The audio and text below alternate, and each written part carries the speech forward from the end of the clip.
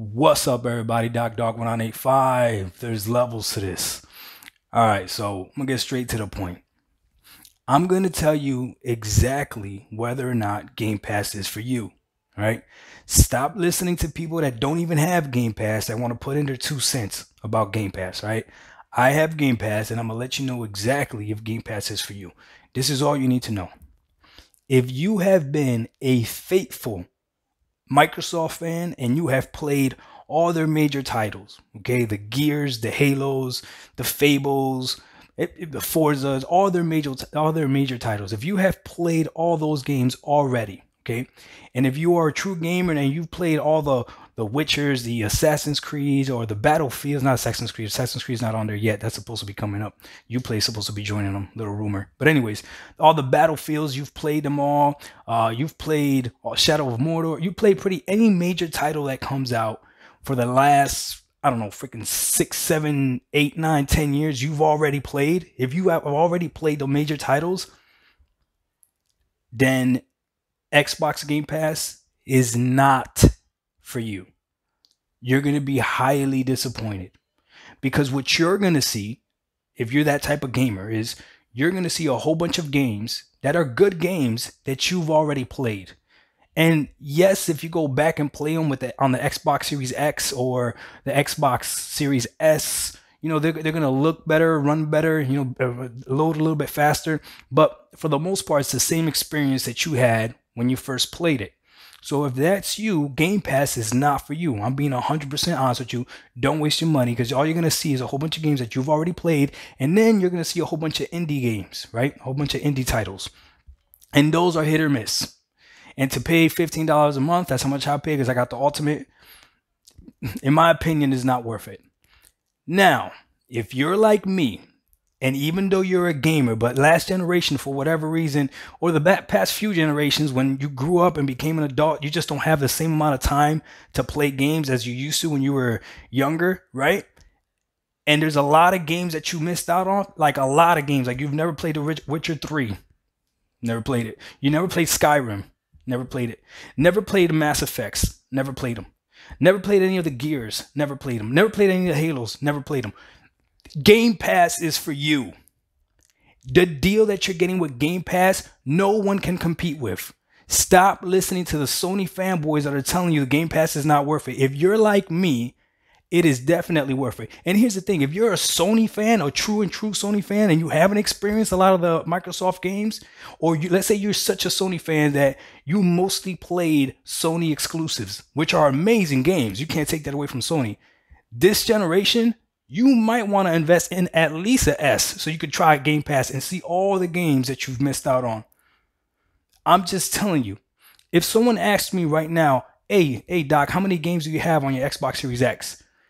I couldn't even tell you because it's whatever game I want pretty much. I just go to Game Pass, look at the list of games, and if you can't find a game to play, oh my God, there's so many games on there that I haven't played. Quantum Break, Control, just think off the top of my head. What else?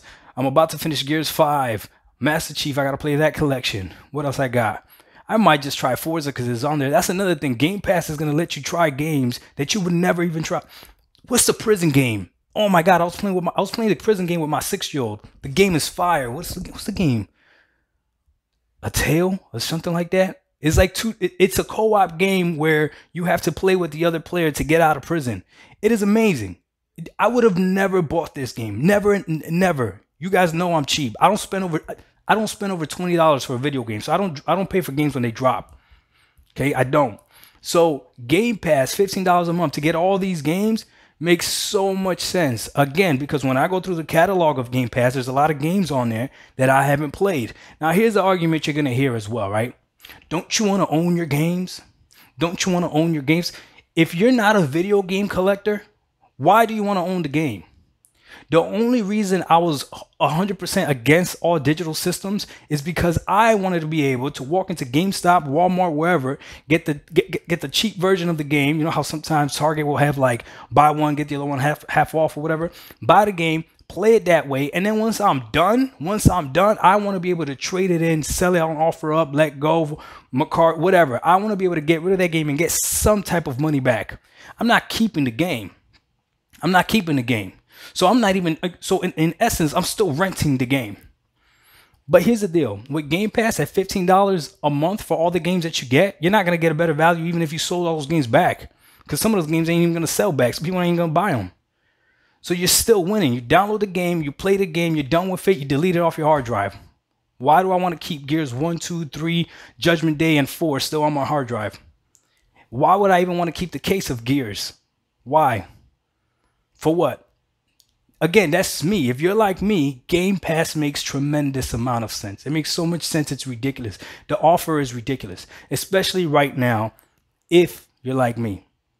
So stop listening to the Sony fanboys that, that only have one agenda to destroy Microsoft at our call at all calls. I'm not an Xbot. I'm not a Xbox like freaking super fan. I critique Xbox all the time. Look at my channel. So some of my some of my fans that are Xbox fans hate when I critique Microsoft. They come at me hard, right? But what I am telling you is Game Pass makes so much sense. Don't listen to people that don't have Game Pass. Now here's the deal. I have PS Now. And I'm going to tell you this. I got PS Now. PS Now does not even hold a candle to Game Pass right now. Sony could change it, but it doesn't hold a candle to Game Pass. And here's another thing, right? Pay attention because when Sony comes out, if they do come out with their own version of Game Pass, it's gonna be epic. And those same people that told you not to get Game Pass are gonna be jumping on Sony's new platform. Mark my words, guarantee you they will. Doc Dark 1985, there's levels to this. Game Pass makes a lot of sense. At me, dog. At me. Let's go back and forth. Let's have this conversation. Leave me a comment if you don't agree. And if you agree, go ahead leave a comment as well. We out. Peace.